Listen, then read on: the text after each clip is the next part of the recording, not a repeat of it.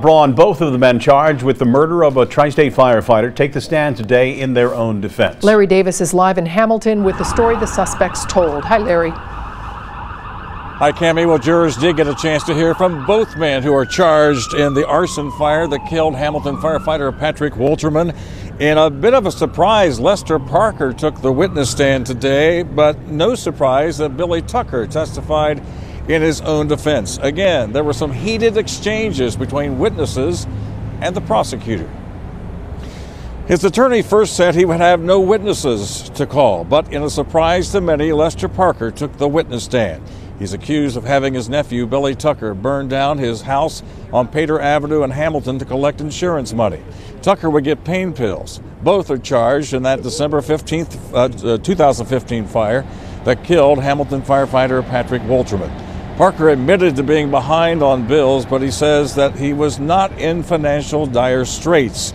Uh, Tucker denied being on Pater Avenue that night, saying he came to a nearby street in Hamilton, close to Pater, to buy pain pills. And here was some of the testimony, tense at times, by both Tucker and Parker. Do you know how your house caught on fire? They've never told me. Did you have anything to do with the setting of your house fire or, or, or the setting of your house fire? No, I did not. You were coming up to Hamilton for a simple little insurance job Wrong, wrong. and went to the back, Wrong. and went to the back of that house with a roofer's hammer or a primer. Wrong. Is there a They have nothing with me. I haven't been on Pater Avenue. October 6th would be the last time I was on Pater Avenue, 2015.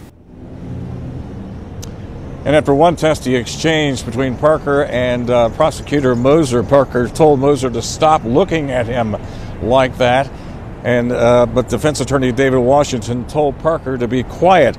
Another time, Washington asked Gmoser to stop approaching his uh, client, Lester Parker. Gmoser angrily replied, I'll have the judge tell me where to stand, as he pointed in the judge's direction.